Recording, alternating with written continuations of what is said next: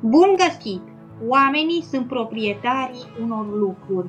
Acestea le pot aparține numai lor și le pot folosi cum doresc.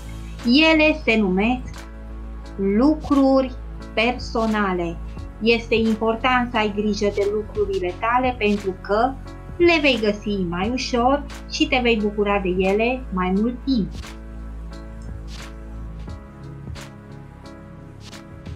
Privește următoarele obiecte personale, denumește-le și amintește câteva reguli de folosire a acestora. Cu siguranță ai primit multe sfaturi de la părinți și de la învățători. Eu îți voi spune câteva sfaturi ale medicilor dermatologi referitoare la folosirea prosopului de corp. După fiecare folosire, trebuie lăsat să se usuce într-un loc bine uscat și ventilat. Medicii ne recomandă să nu folosim prosopul de corp mai mult de 3 ori fără să îl spălăm. Discută cu colegii alte reguli de folosire a obiectelor personale. De asemenea, oamenii folosesc și alte lucruri care aparțin mai multor persoane. Acestea sunt lucruri comune. Privește următoarele imagini și denumește cât mai multe obiecte folosite în comun. Deși cele comune nu ți aparțin, poți să te comporți oricum cu ele? Să ne gândim la autobuz sau metrou.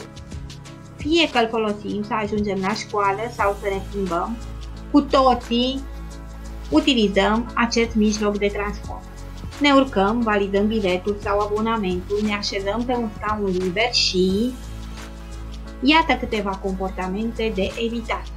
Nu ne apucăm de desenat, nu lipim gumă de mestecat pe scaun, nu testăm ciocanul de spart geamul, nu mâncăm, nu mutăm obiectele, nu apăsăm pe butoane.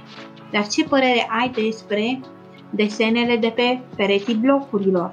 Sau uh, despre copiii care rupă florile dintr-un parc și crengile copacilor?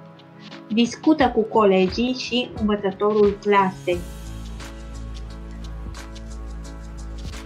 Discută cu colegii de clasă și alcătuiți o listă de comportamente de evitat.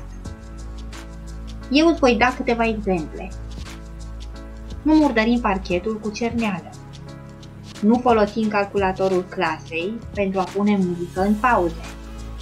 Nu scriem cu markerul permanent pe tabla albă.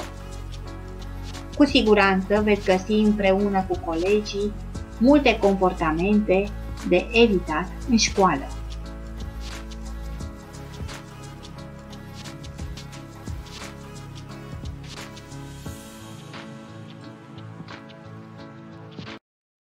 Privește următoarea imagine și grupează într-un tabel lucrurile după modul lor de folosire.